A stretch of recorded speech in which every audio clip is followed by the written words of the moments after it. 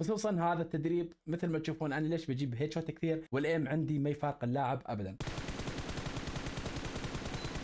مرة ثالثة! تمام يا إخوان؟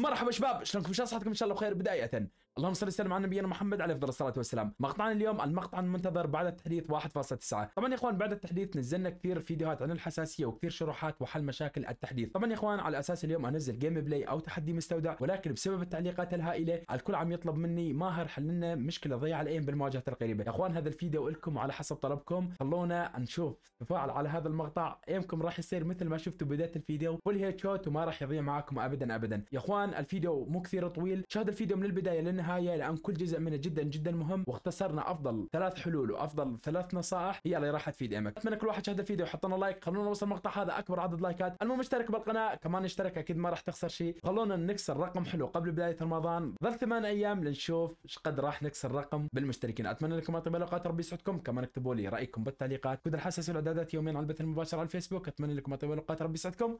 مشاهدة ممتعة. هلا والله شباب فيديو جديد وشرح جديد عن حل مشكلة ضياع ال aim بالمواجهات القريبة بعد التحديث 1.9 طبعا يا إخوان بعد كل تحديث الكل يعرف إنه الحساسية تتغير الرسومات تتغير والإعدادات تتغير وخصوصي حل مشكلة الدمج الوهمي والمواجهات القريبة خصوصا بالمستودع والكلاسيك طبعا يا إخوان بعد كل تحديث يصير في ضياع aim بالمواجهات القريبة. يعني بال close أنت وتواجه اللاعب بالكلاسيك أو بالمستودع تشوف aim ك بيروح يمين ويسار وما يلمس اللاعب بيصير عندك ضياع aim طبعا يا إخوان بالتحديث 1.8 أنا نزلت فيديو جدا جدا اسطوري في كثير من الناس افتهمت الفيديو وتابعت الفيديو من الأول للاخير واستفادت عليه. طبعا يا إخوان تابع الفيديو من الأول للاخير عشان الكل يستفاد. أول شيء الفيديو ثلاث طرق. الفيديو ما راح أخليه يكون طويل ابدا ابدا عشان الكل يستفاد وما يملون من الفيديو وركزت لكم على أهم ثلاث شغلات. أنا استخدمتها خلت ال aim عندي ما يطلع من اللاعب واغلب ضرب الطلق عندي كله headshot ليش عندي headshot في كثير ناس عم تقول لي ماهر أنت عم تتفق مع اللاعبين وتجيب لقطات وتنشر على اليوتيوب. يا إخوان اللي مو مصدق إنه أنا aim ي الاغلب headshot وما يطلع من اللاعب بيروح على الفيسبوك رابط مثبت بأول تعليق يفوت يشوف وقت نفتح room ات وألعب ضد الناس. أنا aim ي اغلبه headshot عشان الكل يصدق وما في أي اتفاقية. إذا بدك فوت على ال room والعب ضدي وشوف. بنفسك. يا أخوان أنا شو الطريقة الثلاثة اللي أستخدمها مخليه aim ي ابدا ما يضيع و aim ي جدا جدا أسطوري من ناحية الثبات ومن ناحية ما يضيع ابدا وفي اغلبه headshot. يا أخوان أول شيء حساسية الجيروسكوب ال no scope أو ال close أو منظور الشخص الثالث بدون منظار. إذا ضبطتها وعرفت حجمها الأساسي حيكون عندك aim جدا جدا أسطوري وما في ضياع. زائدا يا أخوان دولاب الحركة أو joystick أو ال dodge. يا أخوان هاي إذا كانت حجمها بالكلاسيك والمستودع نفس الشيء فحتتدمر عندك ال aim لأنه بالمستودع ابدا aim assist ما في. زائدا يا إخوان التدريب الثالث اللي أنا أستخدمه ما يخلي aim ي يطلع من اللاعب ماسك اللاعب ابدا. ما يطلع منه يعني إذا ما كان فيه headshot ال aim ما يطلع من اللاعب وما يلحق اللاعب يضربني. إخوان ما راح أطول عليكم بالبداية. أنفوت بأول شيء هي ضبط حساسية الجيروسكوب وحجمها الأفضل.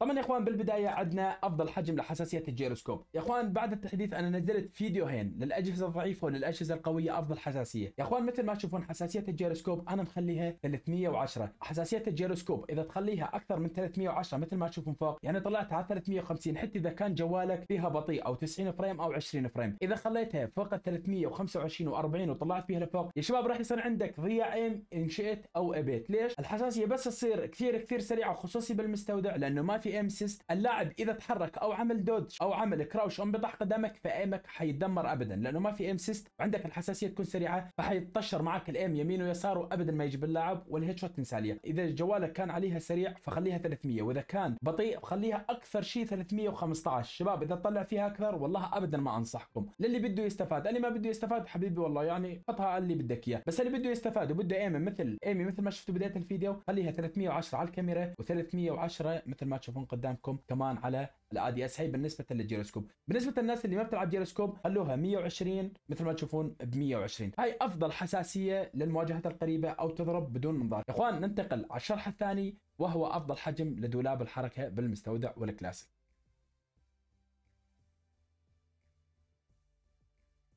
طبعا يا إخوان بالنسبة لزر الحركة وأفضل حجم لها بالكلاسيك والمستودع هذه النقطة في كثير ناس تستهون فيها وهاي أهم شيء بالمستودع خصوصا بالمستودع يا إخوان وخصوصي للاعبين الجوال. إخوان مثل ما تشوفون قدامكم بال control أنا حاط زر الحركة بالمستودع 120 بدي أرفع لكم الشفافية مثل ما تشوفون أنا حاطه 120 بالكلاسيك تحطه 90 وبالمستودع 120 بالكلاسيك أنت عندك aim assist وعندك حركة سريعة. في كثير ناس عم تقول ماهر إذا حطينا زر الحركة عندنا 120 بالمستودع راح تكون عندنا الحركة بطيئة. شيء طبيعي راح تكون عندك الحركة بطيئة لأنه قد ما كبر حجم زر الحركة راح تكون عندك الحركة أبطأ. ولكن حجم زر الحركة قد ما كبر ما راح يكون عندك ضياع aim ابدا ابدا وخصوصي بالمستودع. أنت بالمستودع المستودع كله صغير يعني كله 4 5 أمتار وأنت تصير معك المواجهة قريبة. فأنت ما تعتمد على سرعة الحركة ابدا. أنت اللي يلزمك إنه في dodge جدا منتظم ويكون معك خصوصي كبير وما عندك ضياع aim وال aim إذا صار باللاعب ابدا ما يطلع منه ويصير معك ضياع aim. طبعا يا اخوان بالنسبة للكلاسيك إذا كان عندك حجم زر الحركة 90 ما راح يأثر معك بشكل كبير. ليش؟ لأنه في عندك 60 أو 70% aim assist اللعبة مخلي ال aim assist بالكلاسيكي. يعني إذا حجم زر الحركة معك صغير فما راح يأثر معك لأنه aim ك في aim assist وال aim هو يروح على اللاعب. طبعا يا إخوان مثل ما تشوفون قدامكم أنا حاط حجم زر الحركة 90 بالكلاسيك و120 بالمستودع. يا إخوان الفرق شاسع وجدا جدا كبير. يعني إذا ما خلت حجم زر الحركة من ال 110 لل 120 بالمستودع راح يصير معك ضياع aim وضياع aim كثير كثير. تمام يا إخوان هاي بالنسبة لأفضل حجم زر الحركة وراح تشوفون قدامكم. طبعا يا إخوان مثل ما تشوفون قدامكم أنا خليت زر الحركة 120 مثل ما أنا حاطه وخليت الحساسية 310 وراح أواجه صديقي من وجه لوجه. يا إخوان والله العظيم اللقطة هاي ما راح يكون عليها أي أي اتفاقية ونشوف إذا فيها ضياع aim أو لا. مثل ما تشوفون يا إخوان حجم زر الحركة إذا قل عن 120 راح يصير فيه تشير بالطلق ويروح يمين ويسار كثير. ليش؟ لأنه ما يكون في انتظام لا بالحركة ولا بالدوج لا يمين ولا يسار. طبعا يا إخوان مثل ما تشوفون بالنسبة لحساسية الركض خلونها 85 80 تمام يا إخوان مثل ما تشوفون قدامكم أنا مخليها 85 هاي اللي فوق الصورة. 85 أنا مخليها 85 عشان تكون شوي أسرع لأنه دولاب الحركة 120 خلوها 85 80 طبعا يا إخوان مثل ما تشوفون راح نعيد ال fight مرة ثانية ونشوف. اخوان مثل ما تشوفون والله العظيم اللقطات ما عليها أي اتفاقية. واللي بده يصدق ولا ما يصدق أنا ما مضطر بحلف باللعبة. واللي بده يصدق وبده يتأكد من هذا الشيء يجي على الفيسبوك على البث المباشر. أنا عم ألعب رومات ويشوف إنه عندي headshot ليش؟ نسبة كبيرة.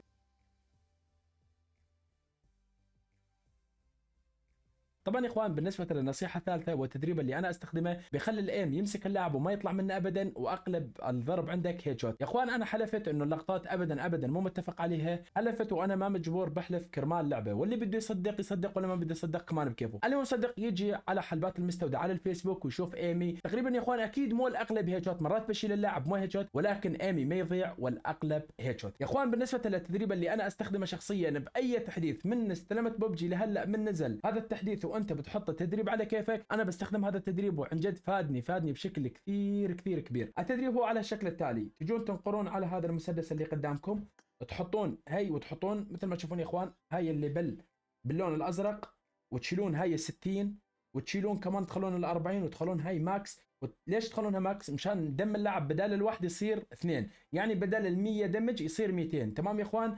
عشان ال damage يصير معك كثير وتضرب اللاعب طلق كثير عشان ينزل معك عشان aim ك ما يضيع. حطوا لها start. ونشوف. مع بعض. أول شيء مثل ما تشوفون قدامكم يا إخوان أول ما يطلع الخصم تحاول تجيب headshot كثير. بتحاول مو تشيلها بالصدر. تحاول تشيلها مثل ما تشوفون يا إخوان. خلي aim ك تقريبا بالرأس. تمام يا إخوان؟ يعني بتحاول تجيب headshot خصوصي بالمسافات القريبة. مرة ثانية. مثل ما تشوفون يا إخوان لازم أي ضربة منها تكون تجي معك headshot.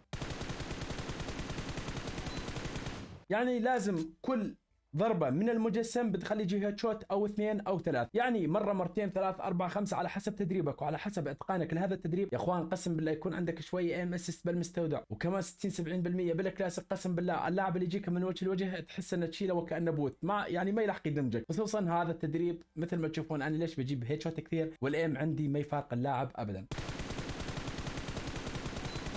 تمام يا إخوان؟ أخليكم مع لقطات المستودع وكيف تتقن التدريب بالعملي. طبعا يا إخوان بالنسبة للشرح الثاني هو تدريب ال aim أنا بالبداية حطيت لكم التدريب وبعدين حطيت لكم اللقطات وكيف أنا برفع aim ي طبعا يا إخوان بالنسبة للتدريب والشرح الثالث وهو أفضل تدريب أنا بستخدمه. إذا ما بترفع aim ك لفوق مستحيل راح يجي معك headshot وال aim يكون معك ثابت. معلش الحساسية تكون معك جدا أسطورية ولكن أنت بدك تساعد الحساسية وتعطيها لمسة منك كمان عشان ال aim ما يضيع معك ويجي headshot طبعا يا إخوان أهم شيء رفع ال aim يا إخوان إذا aim ك يكون لتحت مستحيل يجي معك هيد شوت أهم شيء رفع الأيم بتخلي أيمك مرفوع وتتعود وتتدرب على ذلك خصوصا بالرومات أعمل روم مفتوح يومي وألعب أنت وصاحبك وحاول تظل ترفع أيمك ترفع أيمك لبين ما تتعود على الحركة وأيمك يظل على رأس اللاعب وما يصير عندك ضياع ابدا راح أرفع أيمي لفوق وأشوف! تمام يا إخوان هاي أول لقطة مرة ثانية يا إخوان! مثل ما تشوفون كمان إجت هيد شوت!